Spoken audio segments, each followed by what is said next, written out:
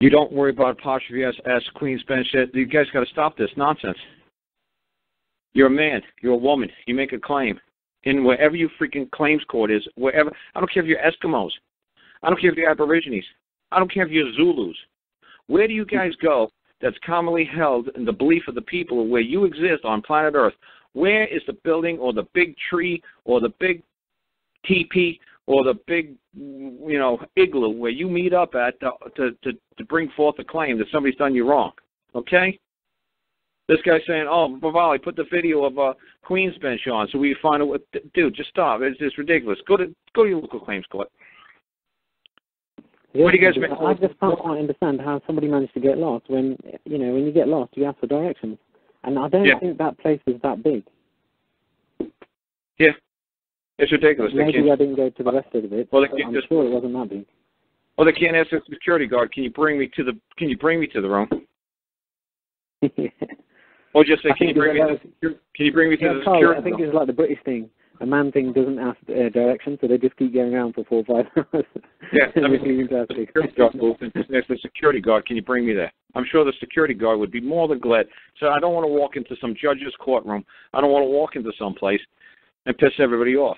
Can you just bring me to the damn or whatever room that was like 7G or 7F? I don't remember what it was or something like that. So can you just bring me there? But like I said, I'm so sick of this pe- these people arguing you and saying to you, "Where's Queens Bench? Where's Queens Bench? Where's Queens Bench?" Look, you got a local court of claims. Well, it's small claims. It's like you know what? Don't worry about what they call it. All right, get another man in there. You get you you get man, great, make a claim. Well, I want to make my billion dollar claim against this person. It's like you know what? Don't worry about it. Just get a judgment against this guy, okay? Why don't you guys just start trying to figure out how to get a little tiny, little tiny, just walk into a courtroom and finally make a little tiny simple claim, little little tiny simple claim before you start going after these guys for seven hundred billion dollars.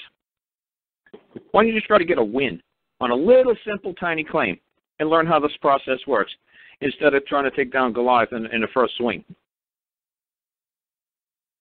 You see what I'm trying to say, Bolly? Yeah, yeah, yeah. No, I totally agree. Just just try to go to court and make a nice little simple claim against somebody who's done you wrong. Like say Barry Rose. Say say Barry Rose is that, that bad officer who did you wrong. Instead of taking him for a billion freaking dollars, just take him to the claims court and say, you know what? He uh loosened up the hinges on my fence and see now the hinge, hinges hang down low because this guy weighs three hundred freaking pounds.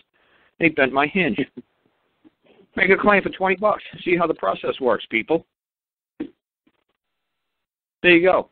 No it's not so scary. Yeah, I've seen far too many claims uh, uh, going for this uh, fifty million dollars and all that nonsense. That's just crazy. Hey, why, why, don't you guys, why don't you guys just learn how to make a thirty dollar claim, a three hundred dollar claim? Make a little simple claim. Figure out how this process works, just like with Bali going over there. All Bali's uh, going to court now for like a little covered wagon, a caravan looking thing. All the big scary things are gone. All he's got to do now is try to feel confident in himself to walk into a court and make a claim that somebody trespassed on his land and uh took pictures of his caravan and started all this nonsense where he had to spend ten grand to to bring me over there and and, and help him out. Little simple claim. All right, so Bob, if anybody gives you any more nonsense about this Queen's and should I put apostrophe S, S after the apostrophe, capital Q, or capital, oh, just stop. Just say these are the rules we're going to move under. We're going to the rules we're going to move under is a court of claims, claims court. We're going to have a you know what? We're going to have a claims court at the county court. Or We're going to meet at the county building. Or we're going to meet at the big tree. We're going to meet in the teepee. We're going to meet at the igloo. We're going to all meet up at that courthouse located at that location. But you know what we're going to have? We're going to have a court of claims. We're going to have a claims court. Where do we make claims? Every court clerk will be able to tell you, hey, where do I file a claim? I'm a man, and another man's done me wrong. Where do I go to file this claim? And she'll say, well, this is the right building. Well, that's great. Do you got any, uh, uh, what, what do I need for you to make the magic happen? Oh, give me 50 bucks. Oh, what do I do? Fill this piece of paper out. Okay, fill a piece of paper out. And make your damn claim against the man. That's it. It's, it's really simple. There's no statutes involved. She's not going to say, oh, well, you're not in compliance with code 1234. Say, hey, look, I'm just a stupid man. I don't know what freaking code I got to comply with. All I know is my neighbor's dog ate my tree, and all I wanted my neighbor to do is fix my tree. You don't see Judge Judy saying, well, according to this code, da da da da, he doesn't have to fix your tree. Well, that's ridiculous. That's why you're just going to a claims court.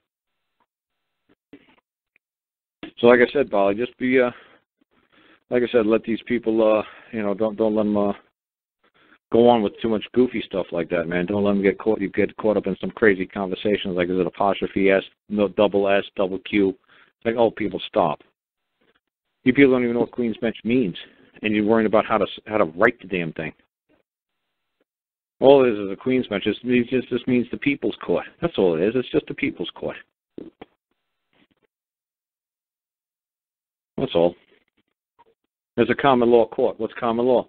They could have a common law court and traffic court. Tra- the people who administrate traffic courts every day, that's their common law. That's their common beliefs. Well, common law is the belief of the people who occupy a certain district, a certain part of planet Earth at that period of time. All the people who jammed into the traffic court, they believe you need a driver's license. That's what they believe. They believe you speed, you should have a fine. That's their common belief. Heaven forbid you go in front of a trial by jury and some little old lady say, well, this is traffic court. That doesn't matter what it is. The little ladies believe you do 100 miles an hour down their neighborhood. You should get, you should hang. You should pay a billion dollar fine. Because as far as they're concerned, you did wrong. They say, well, there's no harm, injury, and loss. Well, they're not going to care. That's why you have a trial by jury with those kind of attitudes, because they'll hang you. That's why you get in front of a guy in a black robe and say, well, sure, I did 100 miles an hour. I'm sorry, sir. He's like, oh, okay, I'll never do that again. It's like, okay, he's supposed to turn the other cheek and say, okay, fine. He's supposed to let you go. But if, but if you're operating under the license at the time, he's going to fine you to the, what the contract says. You're bound. You're imposed a duty. You have a duty, and, you, and when you have a duty, they can impose a fine on you for breaching that contract, for breaching that duty. If it says 100 miles an hour, that you're speeding through uh, uh, your bingo, uh, your your Kiwanis club, or your Lions club, or whatever Eagles Lodge club that you belong in, a golf club that you belong in. So you go and playing golf. You take the golf cart 100 miles an hour through the greens. They said, look, man, we get catch you doing 100 miles through the greens, man. We'll charge you a thousand dollar fine or you're no longer allowed part of this club. What are you going to do? You're going to pay a thousand dollar fine, or you're going to give up what? Your membership card. You don't want to pay a thousand dollar fine for driving under while you're under a license. Well, give up your your driver's license card. Don't be part of the club anymore. I understand how this is freaking rocket science, man. How this so freaking hard to understand. It's scary it, that you guys can't get the simple stuff. And if you just say, "Look, man, I was playing, I was playing golf." Well, you remember this club? No. You mean you just walked onto this club and started playing? Yes. I don't know, man. Did I trespass on somebody else's club? Did I harm somebody? If I did, give me the bill. If not, I'm just a man walking around planet Earth. Did I hurt anything? Well, no. Well, then, okay. Let me know if I hurt something. I'm sorry if I trespassed on somebody's land. Give me the bill. And you said, well, this is private property. Okay, well, then I guess, uh, I guess I'll be leaving now. Just like you'd want somebody to respect your private property. Not these Trini, greeny, Trini weak coggers said, no, nobody should own private property. Anybody should play golf wherever they want. Well, that's ridiculous.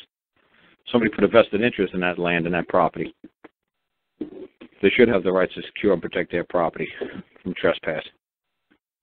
They could ask, can they share God's green earth? Yeah, we want to put a vested interest in it?